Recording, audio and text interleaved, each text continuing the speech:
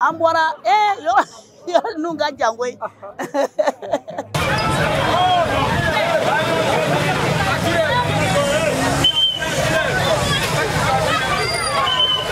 limanaw dugubila o ka fisa ni laadawuli ye wa siga tɛ min na kɛnɛya siraw kan farikolo ɲɛnajɛ o jɔyɔrɔ ka bon kosɛbɛ kunnafoniw na sira kan sa federation malienne des gymnastiques walima femagym o kɔni bɛ taama belebele mun sigi sen kan san o san ɲinan ta a sɛbɛkɔrɔ ɲɛnamayara ka kɛɲɛ ni sibiridon ye ɔktɔburu kalo tile duuru ba fila ani mugan ani naani sigida fɔlɔ bamakɔ kɔnɔ sɔgɔmada in na an bɛɛ filɛ ni jelibugu mali ange la ka da femagym commune 1 mɔgɔw ka marisi belebeleba mun n'a kɛra salo nin y'a a deuxième édition de ye parce que an bɛ fɛn fɛn na bi n'i ma sport kɛ a tɛ ɲa kɛnɛya ka wusa ni diɲɛnatigɛ fɛn bɛɛ an bɛ dumuni fɛn fɛn dun diɲɛ kɔnɔ a si man ɲi fɛn bɛ se k'o o mikɔrɔbuw bɔ mɔgɔ farikolo la k'a sɔrɔ i ma farafin fura ta i ma tubabu fura ta o ye entraînement de ye donc entraînement kɛra wajibi ye bɛɛ ma tangi bɛ dumuni kɛ kolo ani fasa sentɛgɛ ani kolaban femajim ka taama belebele cɛ fara muso kan denmisɛn ani maa kɔrɔ galabu kɛnɛya o damatɔ maa la ko a u ka kurazi ta dɔrɔn u yɛrɛ k'u cɛsiri kosɛbɛ taama ka ɲi mɔgɔ farikolo ma kosɛbɛ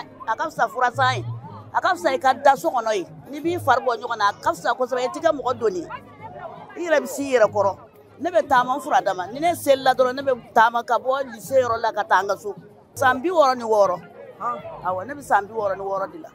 tiɲɛ na ni bɛ se ka fɔ ni nimisi wasa sɔrɔ an kan hali ka da jama bɔra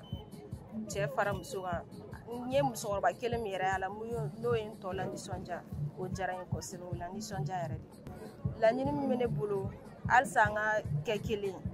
n'an ye mɔgɔw wele u ka se ka bɔ ka an ka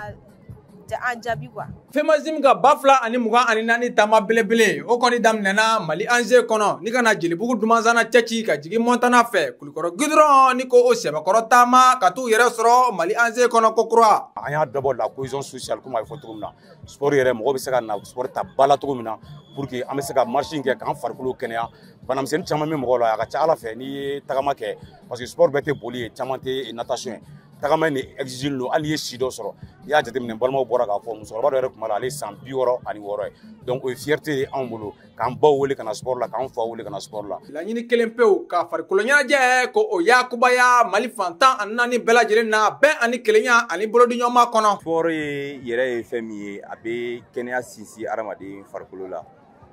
tagama filɛ tagama yɛrɛ fɛnɛ y'a damata sport ye parce que sport filɛ nin ye gymnastique yɛrɛ kɔnɔna lajɛ gymnastique parcours o ye tagama ye bon gymnastique branche ka ca tagama b'a kɔnɔna la o hukumu kɔnɔna la an ye ka tile kelen ta san o san pour que ka se ka tagama don ba la et puis en plus de ça ka farikolo ɲɛnajɛ don ba la ka kɛnɛya di commune 1 denw ma siji sifi fara sijɛ kan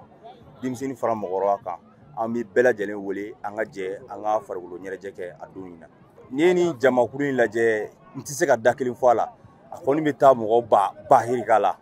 franchement o don k'o ye ko o bɛɛ bɛ commune 1 na appel kɛra o bɛɛ bɔra o yɛrɛ ye nimisi wasa yɛrɛ yɛrɛ yɛrɛ fédération malienne des gymnastiques ka ba fila ani mugan ani naani taama belebele o kɔni jukɔrɔma dondora saniya industrie maw fɛ hakilina ɲuman minnu fana nana sɔgɔmada in na ka na mɔgɔw fara ɲɔgɔn kan u ka mois de la solidarité min bɛ yen bi n'i y'a jateminɛ k'a lajɛ ko u ka journée eh, du sport fana min ye gymnase ye o fana bɛ bɛn ni mois de ma o ye hɛrɛ dɔ de ye ka se hali anw yɛrɛ komini na denw ma ka se jamanadenw ma minnu fana bɛ sport fana kɛ yan komini na u ka wele bila bɛɛ ma bɛɛ kana fara u kan mɛriba yɛrɛ de y'a daminɛ bi sɔgɔmada in na k'an bila sira ka sɔrɔ ka sira d'an ma aw yɛrɛ ɲɛ b'a la tout récemment an bɔra an bɔra Égypte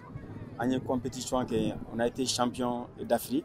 en gymnastique aérobique. On a amené trois médailles d'or et un bronze. K'aw ladɔnniya k'a fɔ a bɛ wagati jan bɔ fédération malienne des gymnastiques wali kelen FEMAGYM o kɔni kɛn bɛ k'u jɔyɔrɔ fin ba Maliba ale farikolo ɲɛnajɛ o binna k'u kan ba fila ani mugan ani duuru taama belebele Ala k'o jira anw kɛnɛ na.